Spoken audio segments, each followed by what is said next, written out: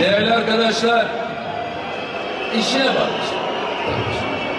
Değerli arkadaşlar, bakın değerli arkadaşlar,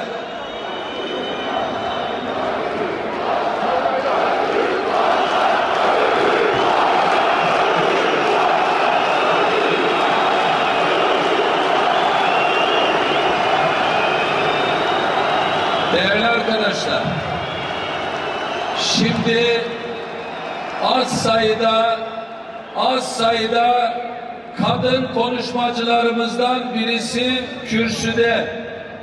Lütfen saygın bir Diyor, Cumhuriyet Halk Partisi'nin her kademeden çok değerli üyeleri, hepinizi 38.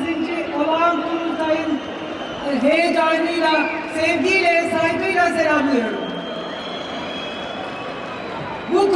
Salonundan değerli arkadaşlarım, tutuklu gazetecilere Tolga Şardan başta olmak üzere Can Atalay'a, Gezi mahkumları Bizde özel güvenlik arkadaşlarımız sağa sola aşılır mısınız? Orada durmanıza gerek yok.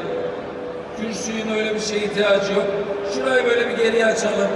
Lütfen